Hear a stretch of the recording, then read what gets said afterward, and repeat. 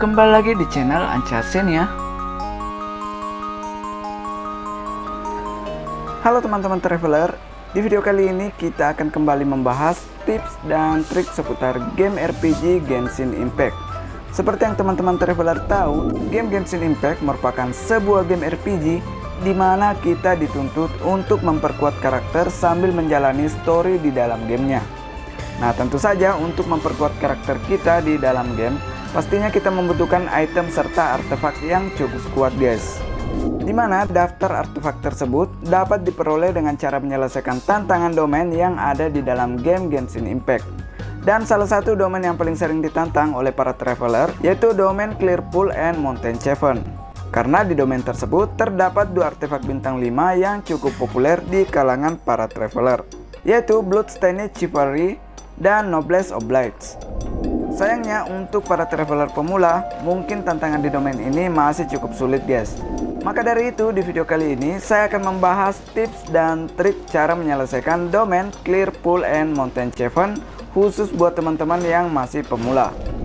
Tetapi sebelum kita masuk ke pembahasan utama, jangan lupa untuk mendukung kami dengan cara like video ini, kemudian tekan tombol subscribe serta aktifkan semua notifikasinya agar kamu tidak ketinggalan video terbaru dari channel ini guys.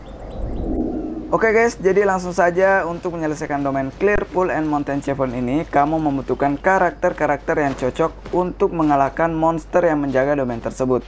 Maka dari itu, di sini saya akan membahas terlebih dahulu tentang domainnya, serta cara mengalahkan monster Abyss Mage yang menjaga domain tersebut guys. Oke langsung saja, pertama kita teleport dulu ke lokasi domainnya guys ya. Jadi kita teleport ke Clearpool and Mountain Cheven. Nah, langsung saja kita masuk ke dalam domainnya, guys. Nah, di sini perlu kalian tahu atau mungkin kalian sudah tahu atau untuk para pemula yang belum tahu, di sini di domain uh, Clearpool and Mountain Cheven ini kamu direkomendasikan untuk menggunakan karakter yang menggunakan elemen geo guys. Tapi di sini untuk musuhnya sendiri atau monsternya sendiri sebenarnya cukup sulit untuk menggunakan karakter elemen geo karena uh, Abyss Mage ini seperti yang teman-teman tahu, Abyss Mage ini menggunakan shield berupa shield api, uh, shield air dan shield cryo guys. Jadi caranya uh, pertama kita masuk dulu guys ya. Kita solo aja. Di sini kalian bisa menggunakan karakter-karakter yang memiliki elemen untuk menghancurkan shield dari Abyss Mage tersebut. Nah, salah satunya contohnya yaitu si Sinkyu ini untuk menghilangkan shield dari Pyro Abyss Mage. Sedangkan untuk Bennett ini untuk menghilangkan shield dari Abyss Mage yang memiliki shield Cryo guys. Dan sedangkan untuk Rosaria ini uh, untuk menghilangkan sel dari si Abyss Mage Hydro. Jadi seperti itu guys ya. Dan untuk bagian DPS-nya sendiri kalian bisa menggunakan karakter Sebenarnya di sini saya ingin menjelaskan menggunakan karakter bintang 4 guys tapi uh, buat kalian yang menggunakan karakter bintang 5 bisa juga menggunakan karakter bintang 5 dan malah lebih bagus guys namun di sini karena video ini khusus untuk pemula jadi saya menggunakan karakter-karakter bintang 4 nanti juga saya akan memperlihatkan ketika kita menggunakan karakter bintang 5 yang lebih kuat guys. Namun di sini kita gunakan dulu karakter bintang 4 guys ya. Jadi kita gunakan kita gunakan Ningguang uh, itu kita gunakan sebagai DPS guys. Jadi oke okay, langsung saja kita mulai guys ya. Kita gunakan dulu karakter bintang 4 dan di sini caranya cukup mudah guys Nah, di sini seperti yang kalian lihat, teman-teman, uh, untuk gangguan lelennya di sini kita akan mendapat mendapatkan peningkatan 75% geo damage yang diakibatkan oleh seluruh anggota party, guys. Jadi, kita akan mendapatkan bonus 75% jika kita menggunakan elemen geo. Namun karena di sini shieldnya harus menggunakan elemental, jadi kita menggunakan karakter elemental untuk karakter lainnya guys ya di sini kita sudah menggunakan karakter elemental air elemental es dan elemental api atau pyro Jadi pertama kita gunakan karakter Bennett guys. Dan kita serang dulu abis mage yang bertipe cryo. Oke, langsung kita aktifkan guys ya. Kita cek attack. Langsung kita cek attack dan kita serang guys. Lalu kita ulti guys. Nah, sampai uh, shieldnya itu uh, habis guys ya. Kemudian gunakan DPS geo kalian. Jadi kita akan mendapatkan 75% attack tambahan untuk elemen geo. Jadi kita bisa langsung bunuh satu guys. Kemudian kita gunakan Sinkyu guys ya.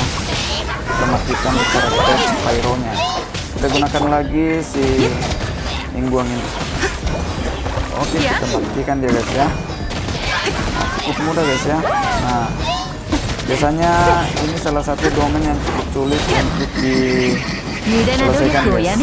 Namun karena kita sudah tahu cara untuk menyelesaikannya, jadi akan sangat mudah guys ya dengan cara ini.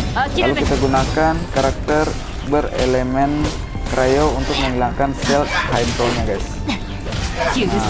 Kita gunakan lagi DPS bertipe Geo.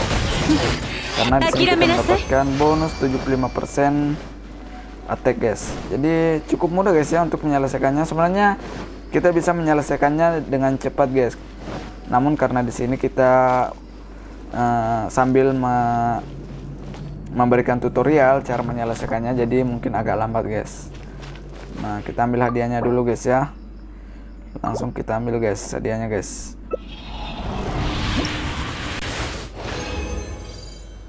Nah, kita mendapatkan artefak Royal Masky guys dengan main stat attack. Wah ini lumayan guys ya karena kita mendapatkan main stat attack. Kemudian kita juga mendapatkan substat critical damage dan attack guys. Jadi seperti itu oke? Okay? ini cukup bagus sih untuk kita gunakan di Bennett nanti. Oke sekarang selanjutnya kita keluar dulu guys ya dan kita akan mencoba menggunakan karakter-karakter bintang 5 semoga itu bisa lebih mudah guys dan memang lebih mudah sih kalau kita menggunakan karakter bintang 5. Hanya saja untuk pemula ya sebaiknya kalian gunakan karakter bintang 4. Karena kalian pastinya uh, belum memiliki banyak karakter-karakter bintang 5 guys. Oke kita langsung masuk lagi guys ya. Kita langsung masuk lagi kemudian kita solo. Kita atur guys. Kita ganti semua karakter bintang 4 nya guys. Nah, di sini untuk geonya kita gunakan si albedo guys ya. Kita gunakan albedo, kemudian kita gunakan ayato. Ayato lalu untuk karakter pyro-nya ya karakter pyro-nya kita tetap gunakan Bennett aja guys ya. Kita tetap gunakan Bennett. Atau bisa juga kita gunakan Yanfei. Kita gunakan Yanfei. Kemudian untuk karakter Krayonya kita gunakan Ayaka. Nah ini cukup bagus guys ya. Kemudian kita langsung mulai guys. Dan langsung saja kita gunakan cara seperti cara yang pertama yaitu kita kita serang dulu abis mage yang bertipe cryo karena itu yang paling kuat guys menurut aku guys. Jadi kita serang dulu dan itu merupakan uh, monster yang paling merepotkan.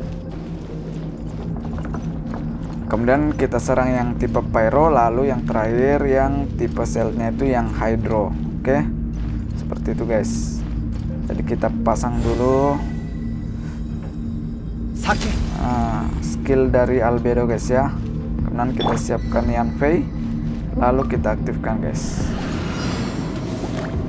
nah langsung guys ya langsung hilang setnya guys Ah, langsung hilang seperti itu guys. Lalu kita serang pakai ayat guys. Ah. Nah, langsung kita bunuh guys ya. Lalu selanjutnya kita gunakan Ayato.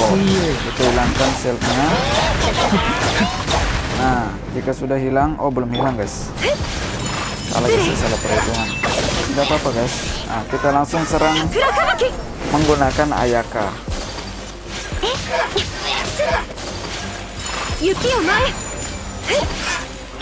Oh ya, jangan lupa kita kasih skill dari Albedo guys. Nah, sebenarnya cukup mudah sih. Nah, Ayaka ini untuk mengatasi shield dari si hydro damage ini jadi jika kita bekukan maka sel hydronya juga akan hilang guys seperti itu guys ya cukup mudah guys ya. Kita tidak perlu repot-repot menyelesaikan uh, domain ini dengan karakter-karakter yang tidak sesuai dengan monster yang kita lawan guys.